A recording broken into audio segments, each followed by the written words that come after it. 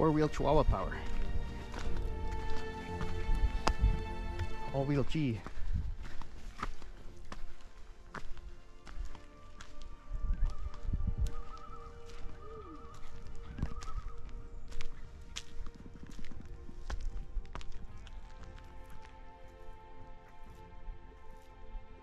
Yeah, that'd be a good spot for sewing with the chain there too, straight below.